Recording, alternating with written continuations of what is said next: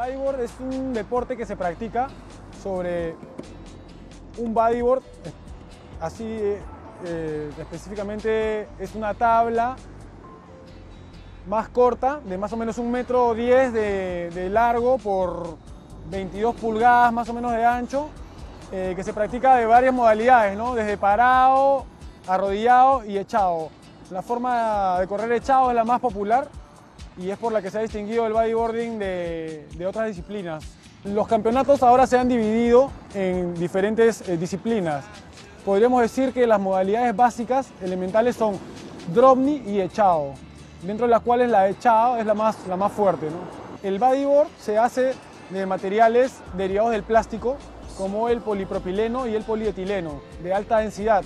Estos materiales son muy ligeros y a la vez son muy resistentes a, los, a las caídas, a los golpes y a todo. ¿no?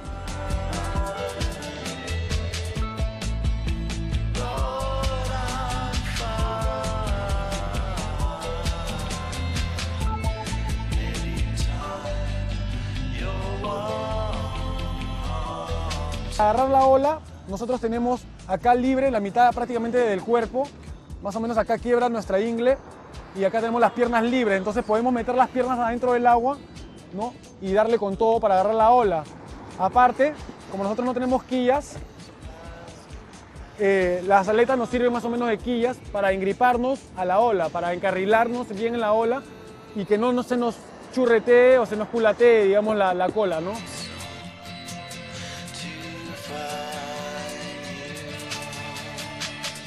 forma de hacer las maniobras en el bodyboard es, como lo, repito, es acrobática.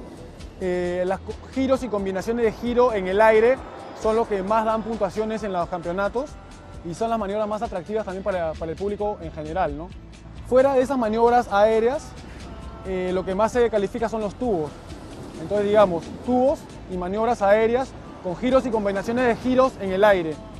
Bueno, Chilca ha sido un descubrimiento que todos estábamos esperando hace mucho tiempo en realidad. Habíamos podido descubrir una playa en el norte chico a 300 kilómetros de aquí que era muy buena, pero que se sopla muy rápido. Por suerte este año, en enero, más o menos, se descubrió este, este, este sitio, esta ola en Chilca, y eh, la verdad que nos quedamos impresionados.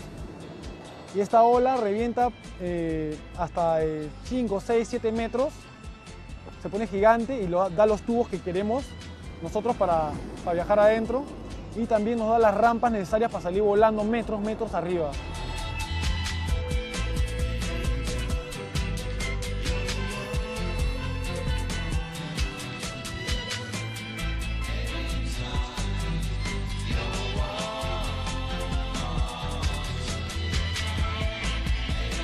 Al Perú está viniendo el 10 veces campeón mundial Mike Stewart.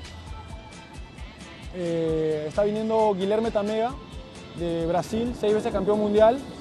Está viniendo Jeff Huard, que es el, top ahorita, el más, el más visto por, por toda la chiquillada y por toda la gente, el más bodyboarder más progresivo, Jeff Huard de Hawái también, eh, dos veces campeón mundial también. Está viniendo Ben Player de Australia, eh, que es uno de los que tiene mejores estilos haciendo bodyboarding en el mundo, dos veces campeón mundial también. André Bota, sudafricano, es, ha sido el campeón mundial más joven en la historia, a los 17 años le ganó a todos y, al siguiente año reconfirmó su título mundial, está viniendo también.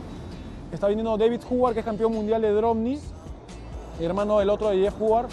Está viniendo aparte Pablo Barcelos, que ha sido campeón mundial del 2001. Y está viniendo Uri Baladao, que es el actual campeón mundial también, ambos de Brasil.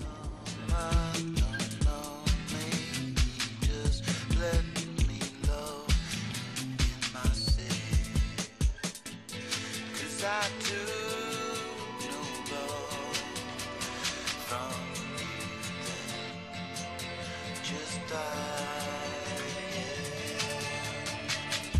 Los invito al Campeonato Mundial de Bodyboarding. Soy José Luis Ugarte, organizador de este campeonato de Peruvian Inca Challenge, primer campeonato mundial de bodyboarding en el Perú. Se va a realizar del 21 al 26 de julio en la playa de Chilca. Los invitamos a todos a que vayan a ver a los monstruos del bodyboarding, como Mike Stewart, Guillermo Tamega, Jeff Hubbard. Ellos van a estar ahí, así que los invitamos del 21 al 26 de julio en Chilca.